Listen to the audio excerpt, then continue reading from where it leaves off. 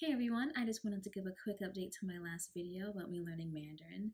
Since I am starting from zero in this language, I thought it'd be a really cool idea to just kind of track my progress. Uh, I want to apologize for the lighting. I'm not at home right now, but I really wanted to put out this video. Anyways, I want to apologize in advance for my pronunciation. I haven't had a chance to speak to natives to get feedback on how I sound.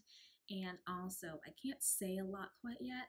Um, what I've learned so far has mainly been um, focused on being in restaurant situations. So, enough talking. Here's what I can say so far. 你好，我是 Ashley，我很好。啊、uh,，我要 我要水，他也要水，我也要咖啡。嗯，我要看那两个仔，谢谢，再见。